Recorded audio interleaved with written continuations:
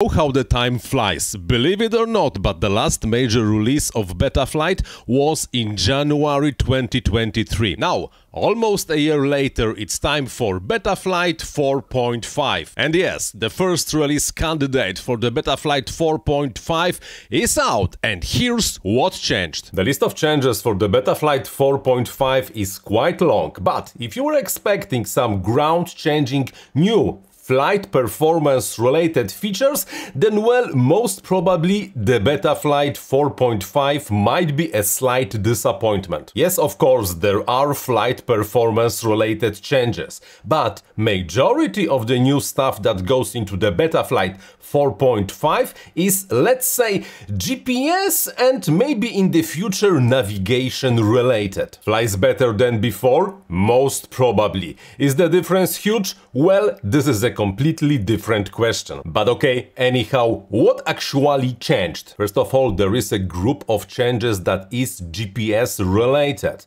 and in the future might be a base of Betaflight introducing or reintroducing navigation capable functionalities. You know, position hold, altitude hold, maybe even waypoint navigation. This kind of stuff. In this group we get the major GPS overhaul as well as magnetometer updates. Definitely not something that will be noticeable by all freestyle and racing pilots, but something that will make in the future navigation with Betaflight possible. And that means that the GPS is more reliable, works better and in general it's just better handling of all the GPS related communication between the flight controller and the GPS module. Second of all, the magnetometer finally works as it should be. Yes, at the moment Betaflight has no use for the magnetometer at all, but the magnetometer will be required for position hold and the waypoint navigation in the future. So it's a foundation for future feature development. And then there was a series of updates and improvements for the GPS rescue, aka GPS return to home and the landing procedure in the Betaflight. In general, it should just behave better, go home better and land with greater confidence. Not too shabby if you ask me. And what's equally important now, the GPS rescue can be initiated almost exactly above you. Previously, when you enabled the GPS rescue too close, the Betaflight was just disarming and falling to the ground. This is no longer happening. As long as there is a minimum altitude margin, the Betaflight 4.5 drone will climb, fly to the minimum safe distance, turn back and do the approach and landing. If you ask me, that's definitely a safer procedure than the one used before. And finally, the angle and horizon modes were almost completely rewritten. Now everything in the self-leveling modes, which are angle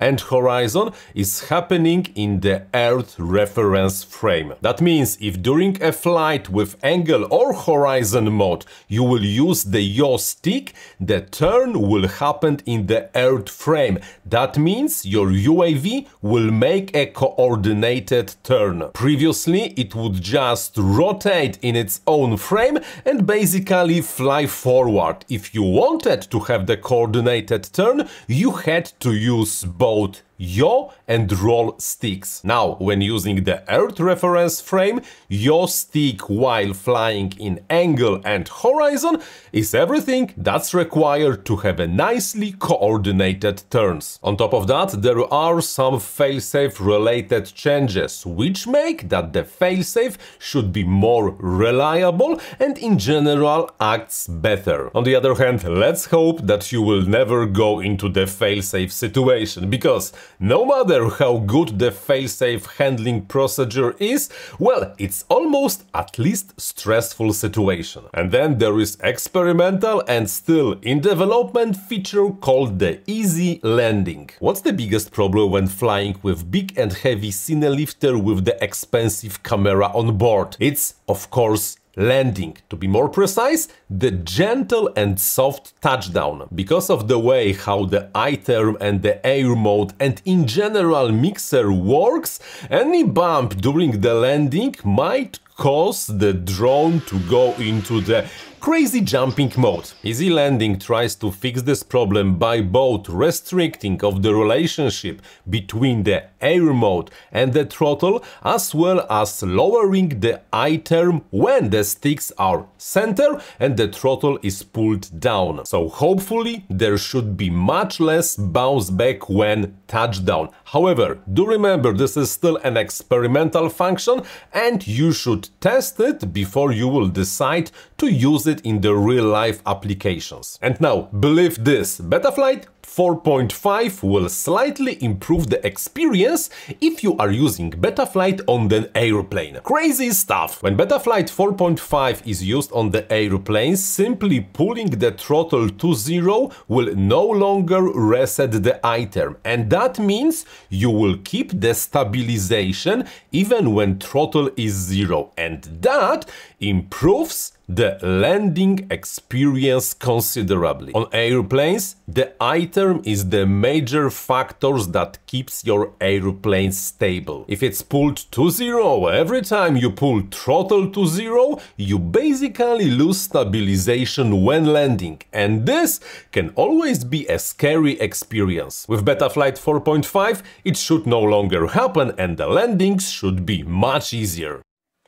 Now, can you use Betaflight to fly your flying wing? Yes, Yes, you can. However, you do have to be aware that there will be a lot of limitations. Majority of the Betaflight functions note from the multi-rotor drones will just not be available when you are using Betaflight on an airplane. What will work is basically the receiver, mixer and basic stabilization. Even the process of setting up and configuring mixer as well as assigning certain outputs on the flight controllers to handle servo might be complicated because airplanes are not just the main target either for the Betaflight development team and the manufacturers of majority of flight controllers. But once you get through it, yes, it's fully possible to use Betaflight on airplanes. And finally, there is a series of changes for RPM filters in the form of the dimmable RPM harmonics, customizable initial dynamic idle percentage, the improvements for the LED strips and Betaflight 4.5 will officially work on the Arterytek